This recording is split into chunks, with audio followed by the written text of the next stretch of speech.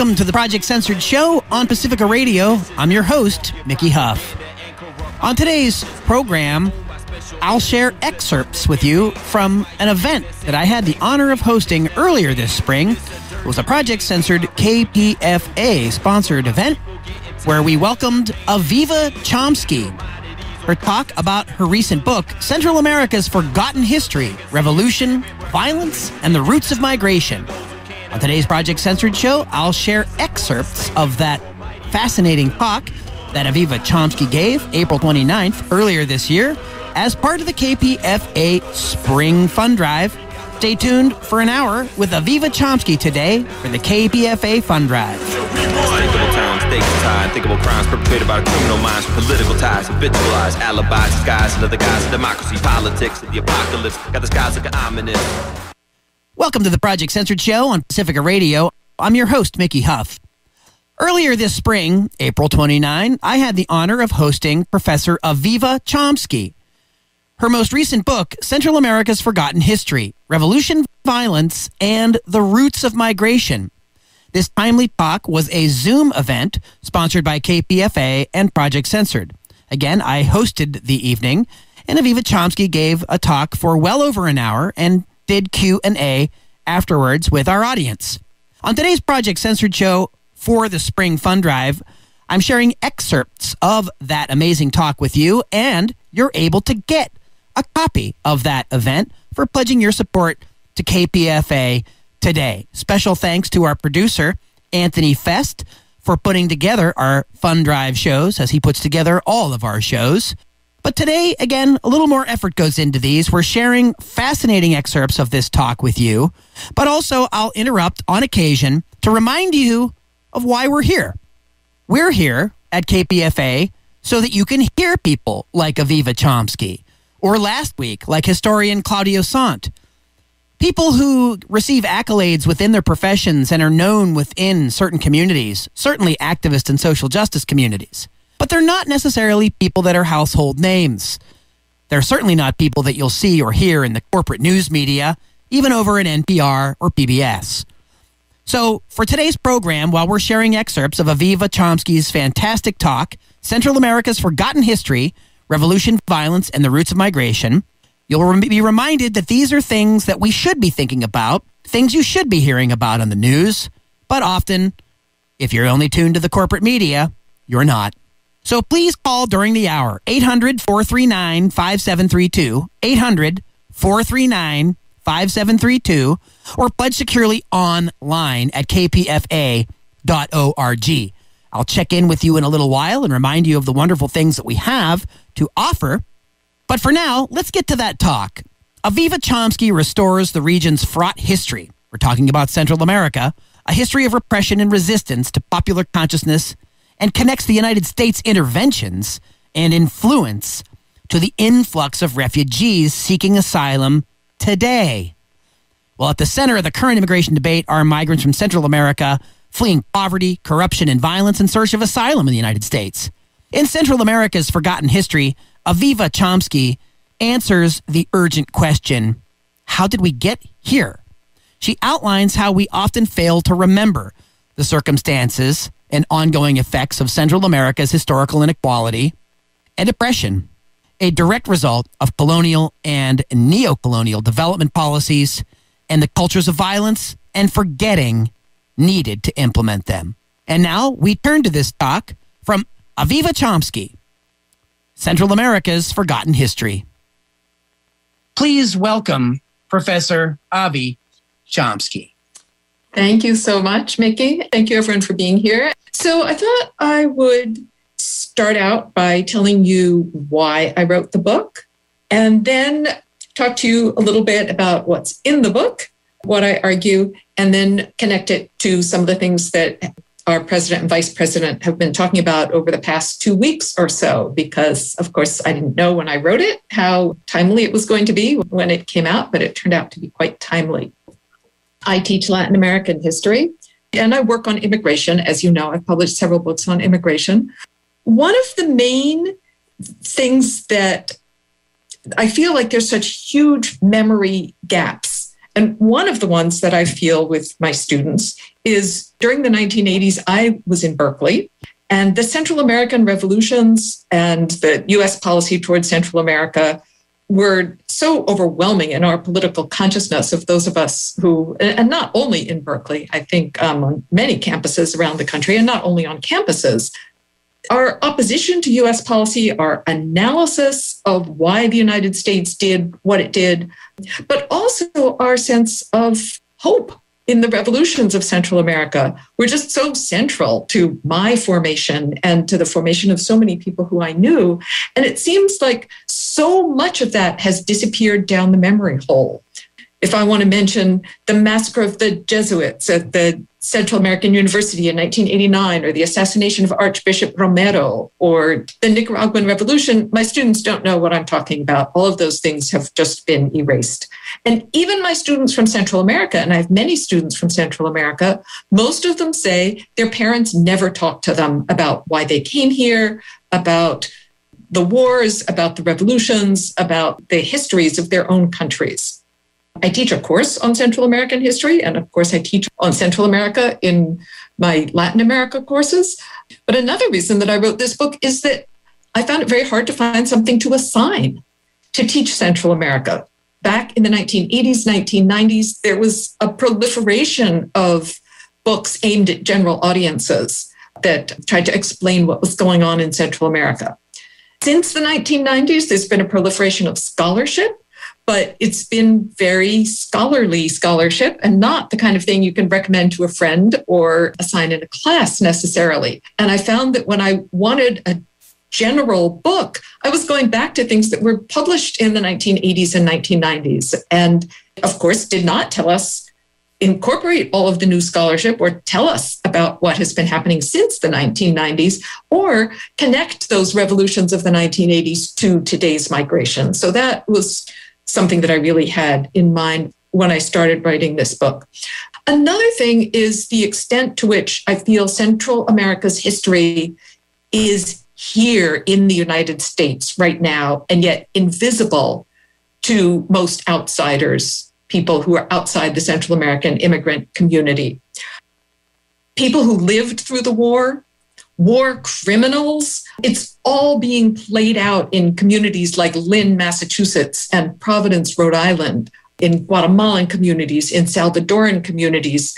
And there's been several cases in the last three or four years of sensational arrests of well known war criminals from El Salvador and Guatemala, people who were living quiet, invisible lives as landscapers or cooks in, in cities around the United States, invisible at least to the non Central American US public, very well known in their communities frequently as to who they were. So, so much of the drama that we read about and heard about in the 1980s, it's not over and it's happening in our cities and towns around the United States today. Finally, I wrote the book because people have been talking about immigration I've been talking about immigration. And if you listened to our vice president speaking with the president of Guatemala, she said, finally, we're going to address the root causes. And President Biden has also been talking about addressing the root causes of immigration. And she listed many of the causes that I talk about in my book. In fact, she could have even been referring to the title of my book. She talked about poverty, violence, corruption, she used the term roots. I used the term roots. She talked about climate change and its effect, drought, hurricanes. But she stopped there. That is, she didn't talk about the causes of all of those things. In the minds of our political leaders, poverty, violence, corruption, climate change, those are all just facts of life that don't require explanation. What I want to do in my book is explain why is Central America so poor? Why is there so much violence? Why is there so much corruption? What are the causes of climate change? So I wanted to go well beyond what our political leaders seem to think of as the roots to talk about what are the roots of those roots. So, of course, I need to do that by looking back through history. And really, I feel that the histories of the United States and Central America are so intertwined over the last at least 150, 200 years that it's hard to even disentangle them to talk about, well, what is the United States without Central America and what is Central America without the United States? So I thought I would read to you just a page or so of the book where I delve into that argument, which is really at the heart of the history that I go through. So it's a section that begins on page 40, in case you have a copy of the book, called Tangled Histories Colonialism and Progress. And I put progress in quotation marks. As Central American elites sought to build their nations in the decades after independence, Many saw the United States as their model, and the Central American countries obtained independence in the early 19th century through a process that began. They were originally part of Mexico and then broke off from Mexico as the United Provinces of Central America, and then the countries that we know of as the Central American countries split out of the United Provinces of Central America. So by the end of the 1830s, the countries as we know them today, more or less, had become independent. Like their US counterparts, Central American government and economic power holders believed that Indians were an obstacle to progress and modernity. And remember, of course, that when the United States became independent, it was a small strip along the East Coast. And that one of the causes of the movement for independence in the United States was the fact that the British colonizers, who we euphemistically tend to call colonists as if they weren't colonizers, but they were colonizers, the British colonizers who led the struggle for independence in the United States were angry because the British crown was putting limits on white settlement and on white settler expansion. So unlike practically every other anti colonial revolution, the US anti colonial revolution was a revolution fought by the colonizers themselves. It was not fought by the colonized people, Native Americans, African Americans. It did not expel the colonizers. It gave more power to the colonizers because it removed the restraint that the British Crown had placed on the colonizers so that independence was followed immediately by more colonialism, more colonial expansion, and the United States expanded from this small strip along the East Coast to cover the entire continent. So, seeing Indians as an obstacle to progress and modernity is something that Central American elites shared with the colonizers of the United States. But for the United States, Central America as a whole embodied the political and economic backwardness they attributed to Indians and sought to overcome by US imposed progress. For the United States, Central America represented an extension of the American West, a land inhabited by savages that had to be subdued. Quote, that the stewardship of the more civilized United States would benefit these savages, whether or not they recognized it, were points of such impressive consensus that from the mid 19th century onward, the border ceased to have much meaning when it came to determining the national interest and the right to pursue it, explained historian Matthew Frye Jacobson. Bolivar, the Latin American independence leader, had warned of the threat of direct U.S. intervention in Latin American affairs. Less visibly, but perhaps just as insidiously, the United States example infiltrated the minds of elite Latin Americans who were trying to build nation and state, as well as poor majorities who labored for elites in the export economies for subsistence or for access to the consumer goods that came to symbolize US prosperity for many. Comparing their own realities unfavorable, unfavorably to the US example, some sought to mimic or adopt US ways. Central American elites often invited US economic or even military intervention in pursuit of their own goals. They taught their children English and sent them to study at US institutions. Some also resented US racism, blamed US imperialism for their country's problems, and fought against it. William Walker's 1855 invasion of Nicaragua spurred a violent and united rejection and a long memory. It also, quote, paradoxically strengthened elite Nicaraguans' infatuation with the US road to modernity, according to historian Michel Gobat. With the gold rush traffic, Nicaragua, quote, eagerly adopted a wide array of new US goods and cultural practices, as well as US ideals of technological progress and enterprise.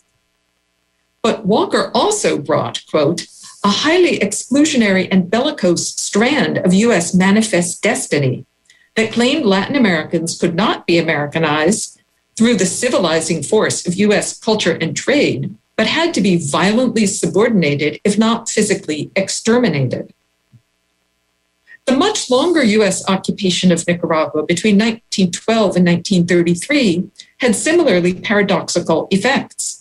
The occupation brought bankers and Protestant missionaries, as well as Marines.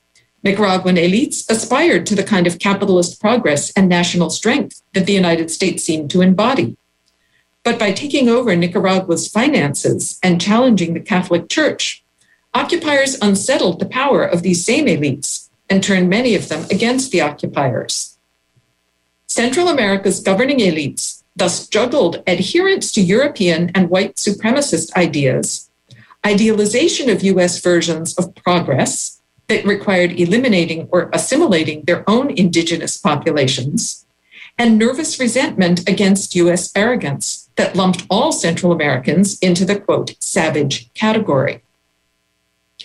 Tensions over the nature of their countries and their relations with the United States were deeply racialized. Would Euro descended Central American elites identify with the indigenous majorities of their countries in challenging US colonial attitudes and structures? Or would they ally with US power holders who identified Indians and Central Americans in general as backward threats that needed to be exterminated either literally or culturally through assimilation into Euro dominated culture. You're listening to the Project Censored Show on Pacifica Radio. I'm your host, Mickey Huff. We're playing excerpts today of a talk given April 29th by Professor Aviva Chomsky. I had the honor of hosting Professor Chomsky that evening for a KPFA Zoom event co sponsored by Project Censored. She was discussing her latest book, Central America's Forgotten History revolution, violence, and the roots of migration. This is the KPFA Spring Fund Drive, and I am cutting in to that speech by Professor Chomsky to remind you that you can support this radio station, Community Radio, KPFA. Been around for over 70 years, and it fills a void in our media culture. You listeners all know that. We need to raise over $450,000 in this drive to keep the lights on, to keep the programming coming, and to be a viable media platform that, well, you come to to hear the news that didn't make the news. As Project Censored's been saying since 1976, KPFA has this kind of original programming that you won't hear any other place. So call now 800 439 5732. That's 800 Hey KPFA. You can pledge securely online at kpfa.org. The $150 mark gets you the KPFA live video events, of which this talk was part with Professor Aviva Chomsky. Last week, I played for you excerpts of another talk that I hosted with Claudio Saunt, who had just recently won the Bancroft Prize. So we've been playing excerpts from these amazing talks, and you could get them all from the spring series. That was Sister Souljah, Martin Espada, Michael Eric Dyson, Claudio Saunt Aviva Chomsky, Greg Grandin, Vivian Gornick, Jeff Chang, and Davey D by calling 800 439 5732 now. $150 pledge gets you the whole pack of KPFA live video events. Limited number of tickets available for this one $500 you can get the Magical History Boat Tour. You can join East Bay Yesterday host Liam O'Donoghue on the evening of July 10th for a journey through centuries of Bay Area history. This is the $500 pledge, limited number of tickets available, so call now if that interests you in the Bay Area. 800 439 5732. That's the number to call. You can also, uh, again, go to the kpfa.org website and go to uh, the link of all of the premiums there. And you can see the Malcolm X digital collection. You can see the special COVID items, the the emergency radio, these types of things. That's all available. You could go to kpfa.org and you could pick out your thank you gift. But the important thing is is that you call now and pledge now so that you can go and get that gift. 800-439-5732. KPFA been around since 1949 with the goal of promoting peace both interpersonal and international by means of ethical, intellectual, and artistic integrity. KPFA has remained ever vigilant since then thanks to the generosity and support of our listeners. That's you. So please consider making that donation today. 800 439 5732 and give the gift that gives back to the community. And that's you.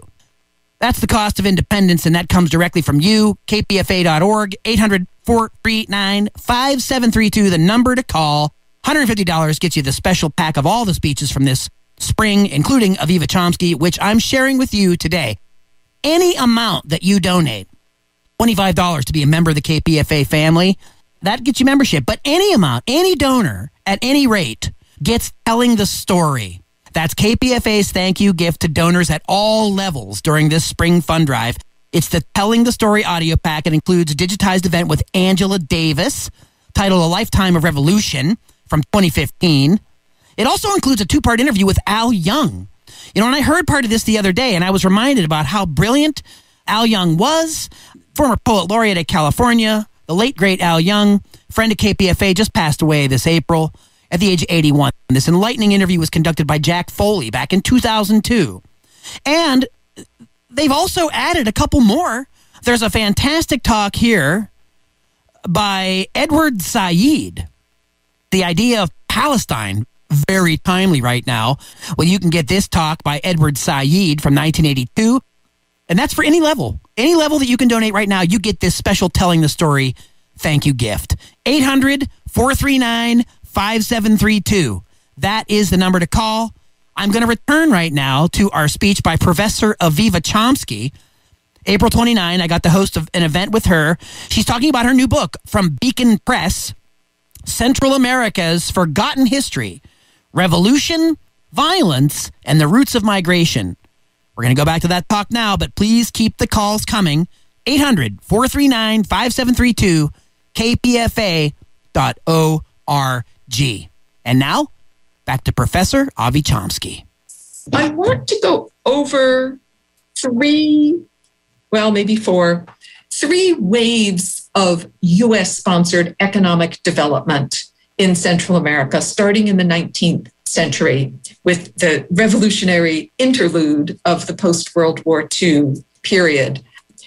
And look at how they built on each other and brought us to where we are today, in particular with the question of migration.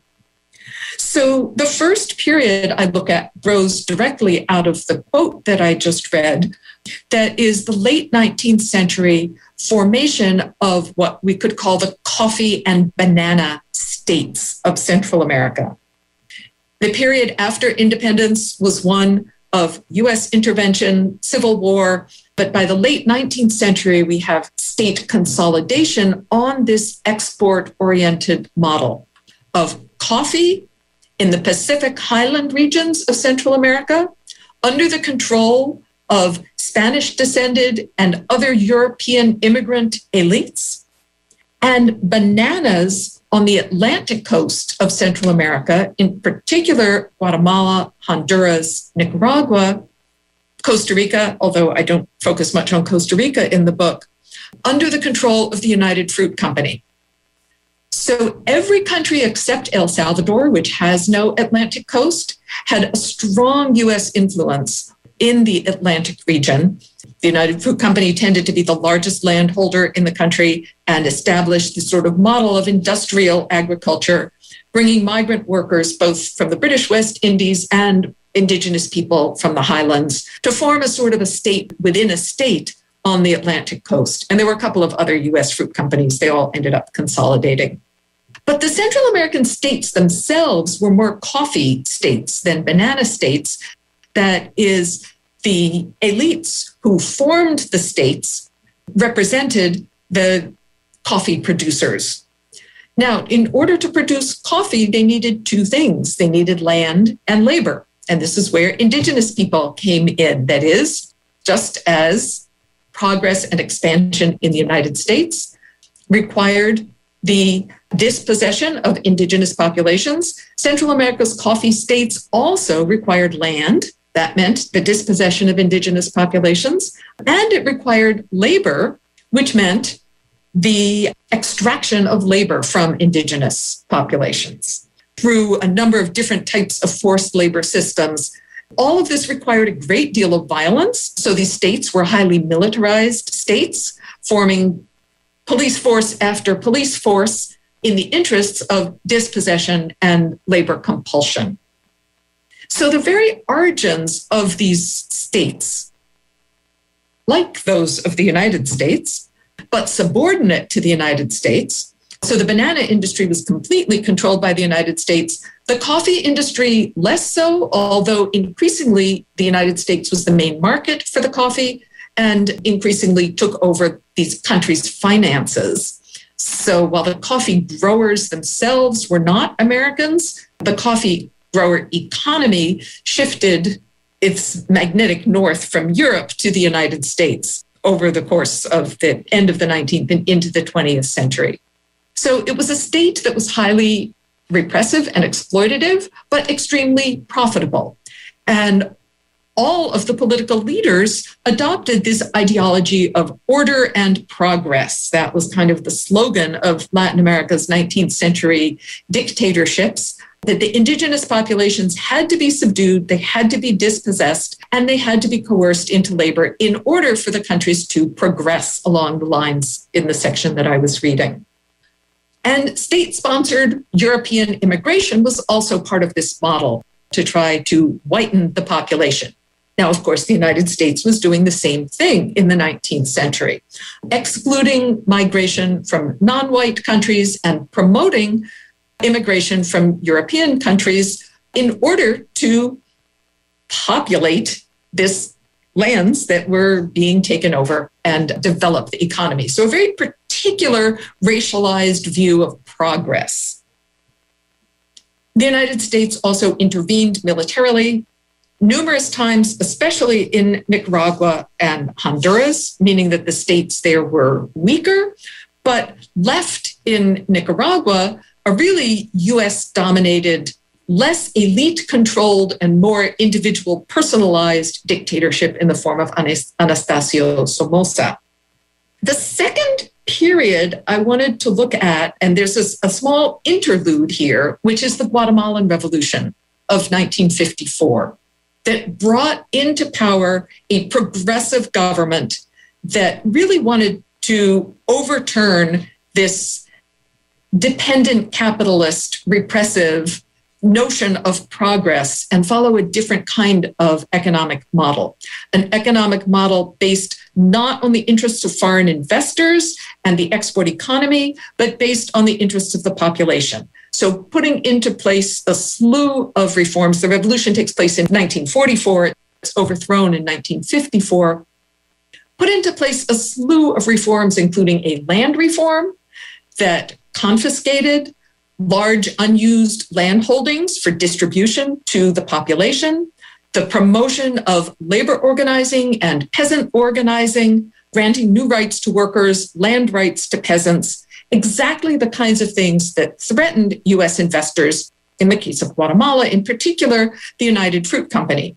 But it wasn't just the United Fruit Company that was threatened by the October Revolution in Guatemala. It was also the Guatemalan coffee growing elites who were not Americans, but who were just as threatened by the mobilization of the indigenous workers who they relied on and whose super exploitation they relied on to maintain their profitability.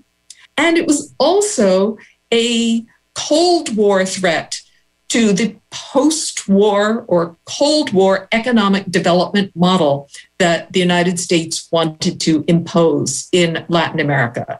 That this is the second wave of order and progress. And as I'm sure most of you know, the United States organized and trained an exile army and led their invasion of Guatemala, supported with US air power in 1954, overthrew the Guatemalan Revolution and put into place a military dictatorship, which essentially has ruled Guatemala until at least the 1990s, if not still today, putting Guatemala's military back firmly in control of the country. So the second wave of order and progress economic development is the post war, Cold War, post World War II, that is, Cold War wave of development.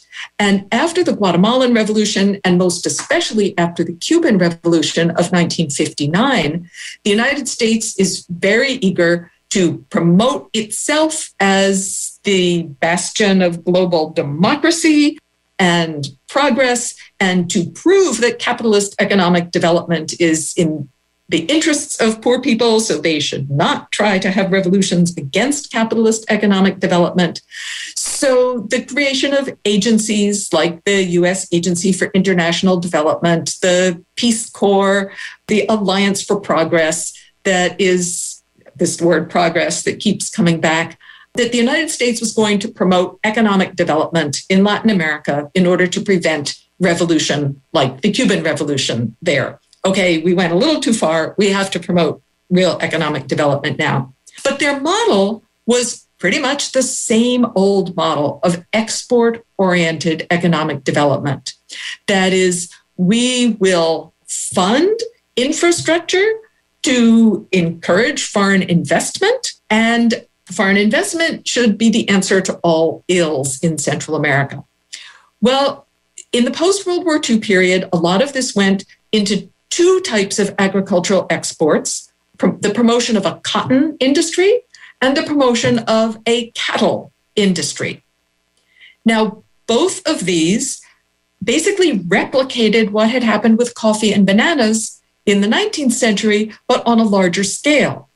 Both of them required a lot of industrial infrastructure, pesticides, fertilizers, slaughterhouses, transportation systems, US aid poured into Central America. They required land. So there was a new round of dispossession and land loss throughout the region. And they required labor, but not enough labor to employ all of the people who were dispossessed. And labor on the cotton plantations was even more harsh and toxic than labor on the banana and coffee plantations had been.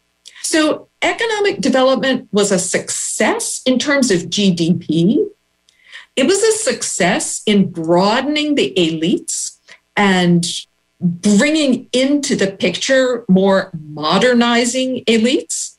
But from the perspective of Central America's poor, it was precisely the economic development model, the post war economic development model, the export economies, the coffee, the cotton, and the cattle economies that led to the revolutionary movements that start to organize in the 1960s and 1970s. Now, of course, Central America is not the only place where the post World War II period brings hopes for liberation of oppressed peoples, whether it's colonized peoples in Africa and Asia whether it's internally colonized peoples in the United States, African Americans, Native Americans, the Chicano movement, the Central American poor, and the Cuban Revolution is a huge inspiration for all of Latin America and also for Latinos in the United States.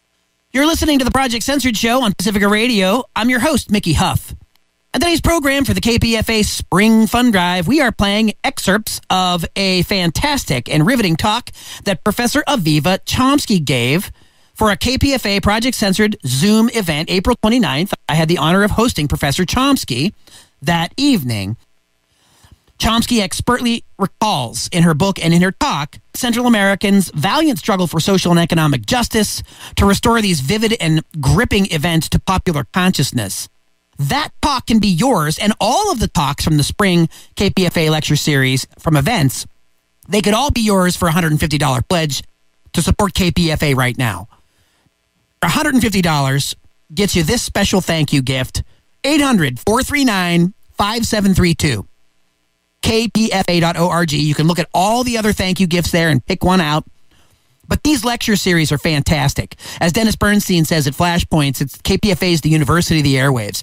You know, I utilize a lot of these talks and a lot of the things that go on at KPFA, some of the programming, like Mitch Jeserich's program. You know, 25 bucks gets you his U.S. history pack. Well, I use this stuff in my classes and introduce my students to KPFA because I'm reminded once upon a time when I was a young person and I stumbled into KPFA, it was like water in the desert. I got to hear so many different ideas and things that I, as a young person, didn't necessarily know about. And so, for all the folks out there listening, and especially the ones that have been listening to KPFA for a long time, remember that your donation to KPFA guarantees that somebody else will get to have the opportunity to discover the news that doesn't make the news. They'll get a chance to hear programming that they wouldn't hear anywhere else. That's what you're giving when you donate to KPFA. You're keeping this alive as a vital, didactic community resource. It belongs to we the people. 800 439 5732. Please call to support community radio. Go online, kpfa.org. You can pick out whatever you'd like, but for any amount that you donate, you're getting Telling the Story. Any level you donate, you get Telling the Story audio collection with Angela Davis, Al Young, Edward Said, and also Davey D interviewing Paul Mooney and Dick Gregory. So call now. Any amount gets you telling the story. $150 gets you the whole pack of speakers of Aviva Chomsky, Claudio Saunt, and a whole host of others. I hosted those two just this spring alone. Such an amazing lecture series, and it's an honor to host that. And great thanks goes out to Bob Baldock, Ken Preston, and the folks that make that happen here. 800 439 5732. I put out great thanks to our senior producer, Anthony Fest, that puts these shows together. Project Censored on the air over 10 years. We've been around since 1976 doing a book a year. You can learn about us at projectcensored.org. But our mission aligns with the mission of KPFA. And that's why I'm here. And I'm proud and honored to be part of this community. And I thank all of you for the opportunity to be here on the People's Airwaves every week. And we're on 50 other stations around the U.S. And of course, we're online. But this is where it all started for us on the radio, folks, at KPFA. This is our home. It's your home, too. 800 439 5732. Phone home. KPFA.org. This is the place that you're going to hear Aviva Chomsky and Claudio Saunt. You're going to hear Al Young. You're going to hear Edward Said. You're going to hear Angela Davis. You're going to hear all these people, and you do hear them. We just need you to, if you can, pitch in. Any amount gets you telling the story. $150 gets you our amazing set of lectures, right? For $500, you can get the magical history boat tour of the Bay Area we've got plenty of things to thank you with. And we need to pay the bills here, you know, especially during the pandemic. Everybody has scrambled and picked up, everybody's pulled weight, and we're still here, and we're an important, vital resource to you now. And we're going to be in the future, but that is contingent upon the support financially of those of you out there that can do it. So, those of you that can afford to support KPFA right now, please consider donating what you can. $25 gets you a member. Any amount gets you the telling the story thank you gift. $150 gets you the speeches like the one I'm playing today with Professor Aviva Chomsky. What an amazing and iconic figure she is. Of course, the Chomsky family name, no, they're no strangers to the KPFA audience. That's for sure. But unfortunately, people like Aviva Chomsky maybe aren't household names to people that should know about U.S. history in Central America and what's gone on there. And that's what her talk was about. That's what her recent book is about Central America's Forgotten History Revolution, Violence, and the Roots of Migration. Aviva Chomsky also examines how and why histories and memories are suppressed and the impact of losing historical memory Only by erasing history can we claim that Central American countries created their own poverty and violence, while the United States' enjoyment and profit from their bananas, coffee, vegetables, clothing, and export of arms are simply unrelated curiosities. No, Chomsky wants us to remember. And she does so in this riveting book and this great talk she gave back in April that I got to host. 150 bucks gets you that and all the talks from this spring series. 800 439 5732.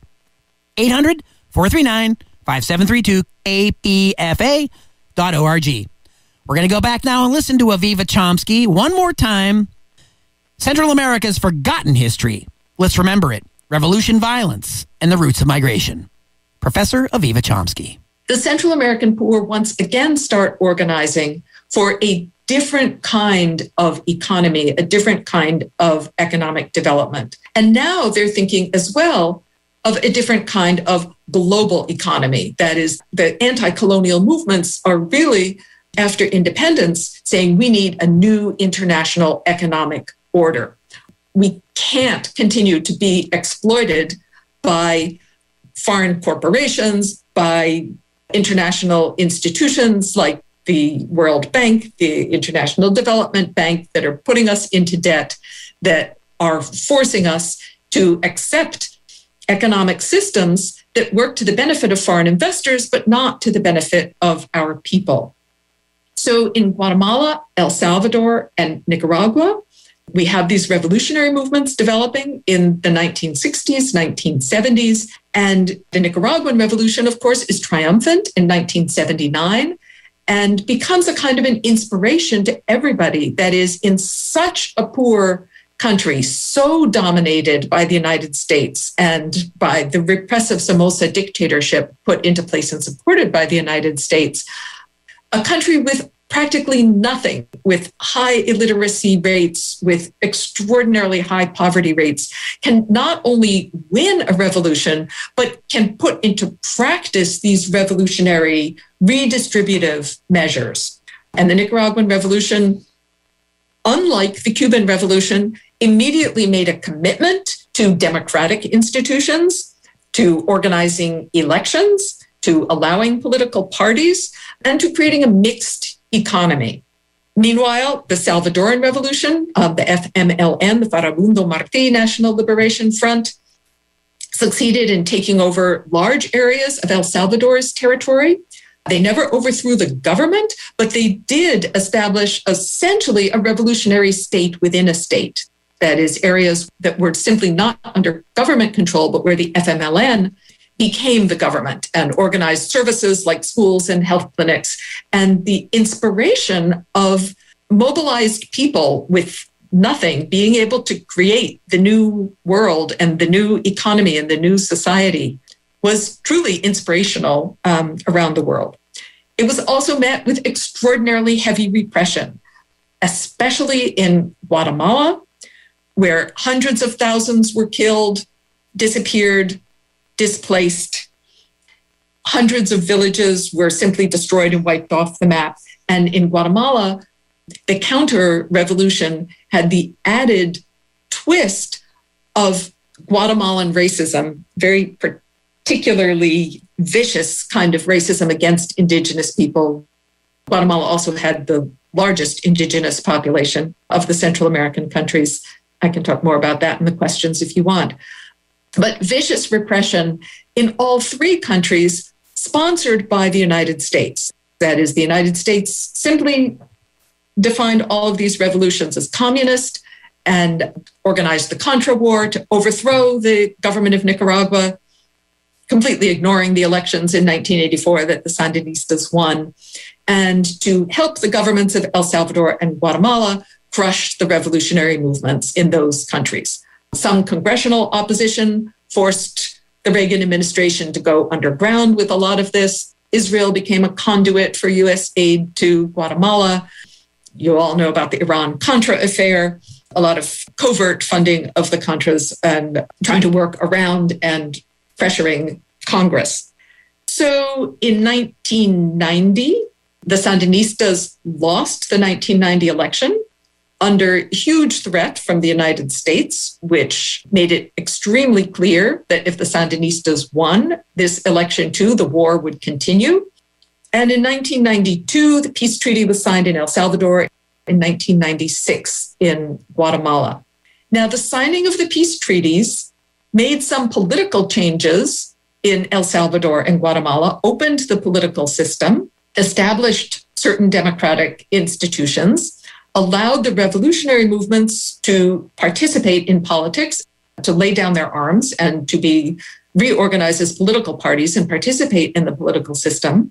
But the peace treaties really did not challenge the social and economic causes of the revolution the highly skewed land systems, the extraordinary poverty, the lack of rights of the poor. The very things that had caused the revolutions were not addressed in the peace treaties.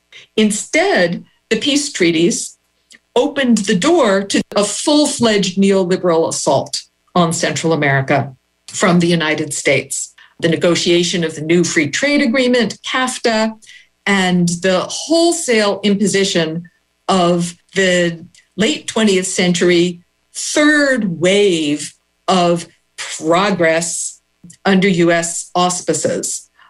And the new export economy that the United States, foreign investment export economy, um, that the United States had in mind for Central America in the late 1990s and into the 2000s was based on a somewhat different set of economic activities. CAFTA opened the door to the maquiladora sector in Central America. And if you choose to examine the labels on the clothes that you're wearing right now, I would guess that probably 90% of the people who are listening to this have a label somewhere in their clothes that says made in El Salvador, made in Honduras, made in Nicaragua, made in Guatemala.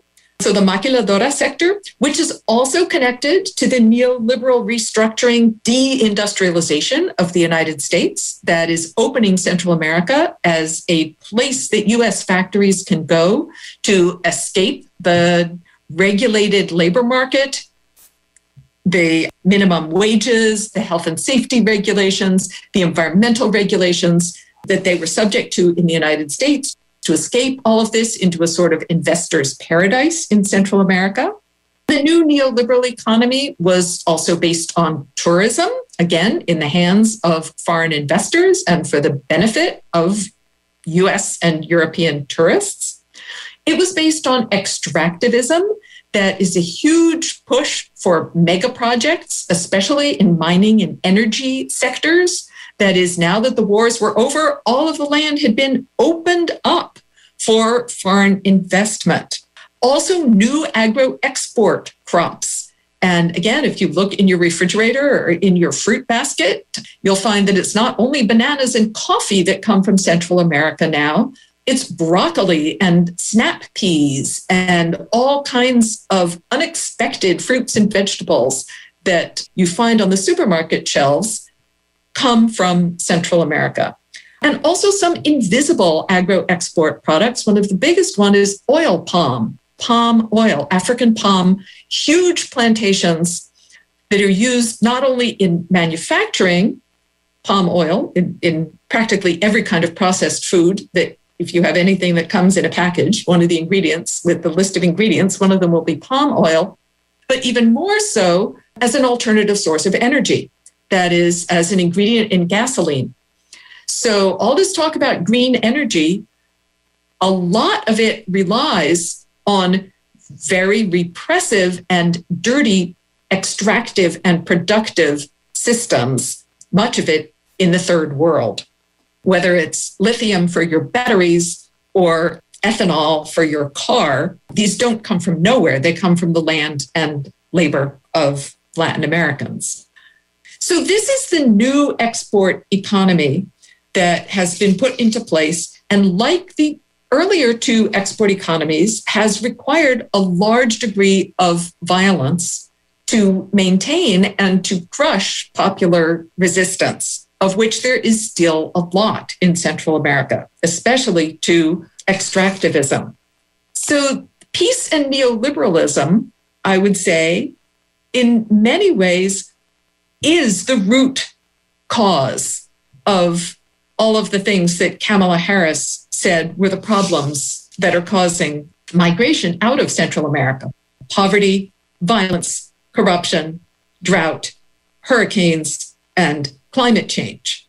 Just one other piece of the drought and hurricanes is that as the productive lands are taken over more and more by export agriculture, poor people are pushed more and more into unproductive lands, which are more susceptible to drought and hurricane. In addition to, of course, the United States being the major emitter of CO2 and thus the cause of climate change that contributes to extreme weather events. So I wanted to end by looking at the policies that our political leaders are now putting into place.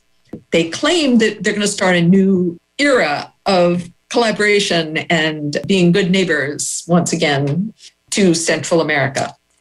And yet, what Biden and Harris are proposing looks very much like the same old economic development model that has caused all of Central America's problems.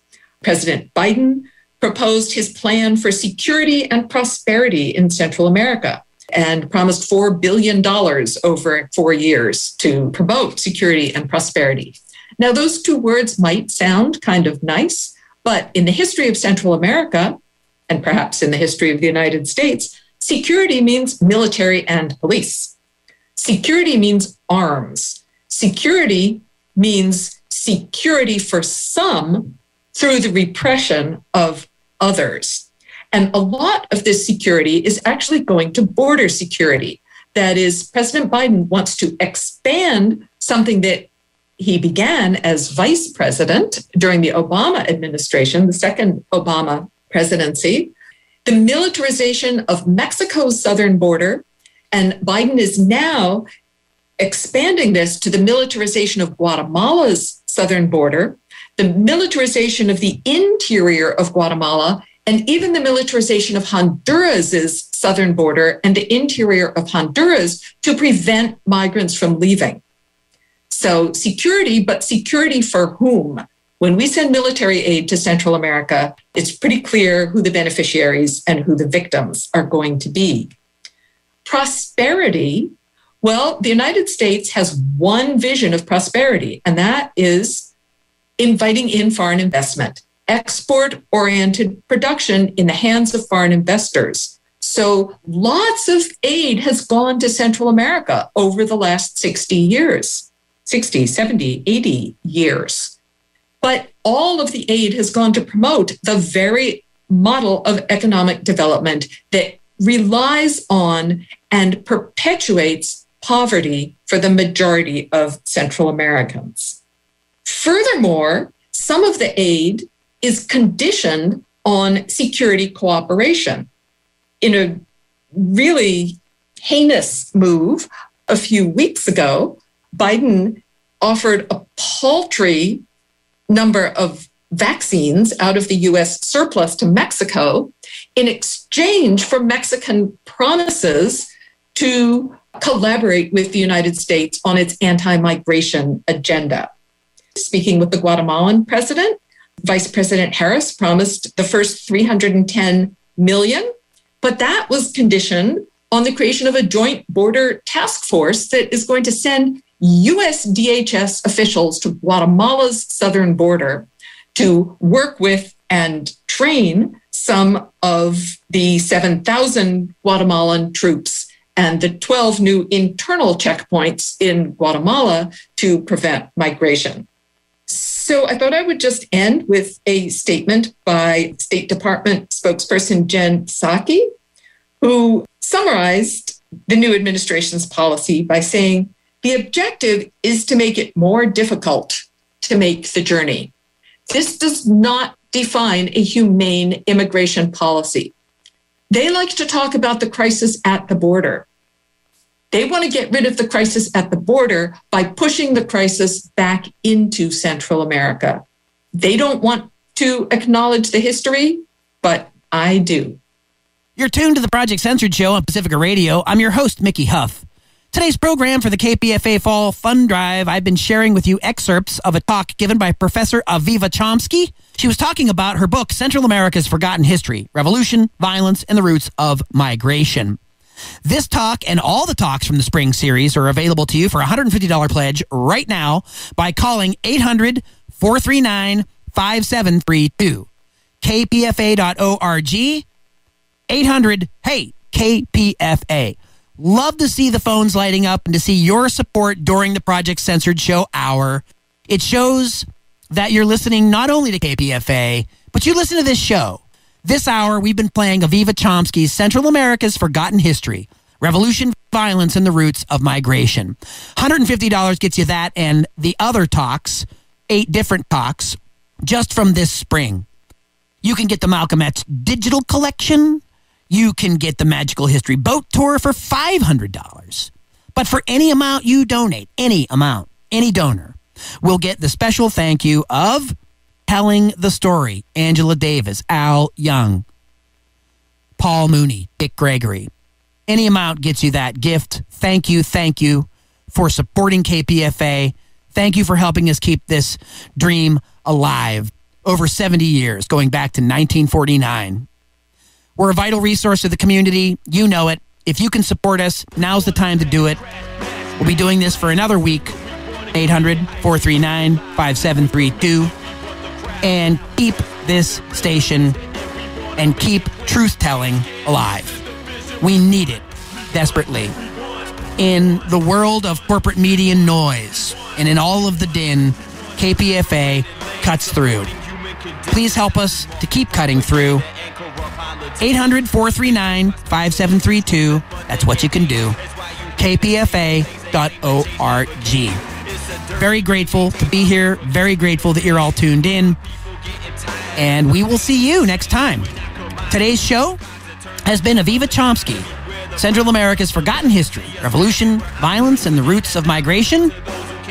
Coming up here next month, stay tuned for fresh Project Censored shows. We've got some great ones coming up more of our partnership with the Real News Network. A lot of things in the works, folks.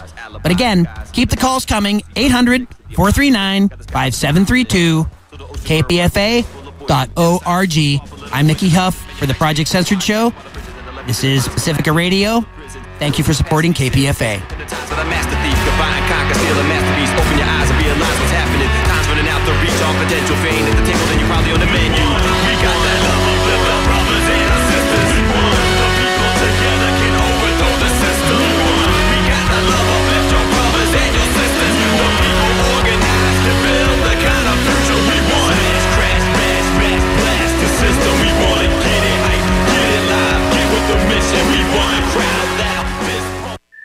KPFA's digital delivery system offers you incentives to donate with instant payback. We're curating our high impact independent journalism, the voices that need to be heard.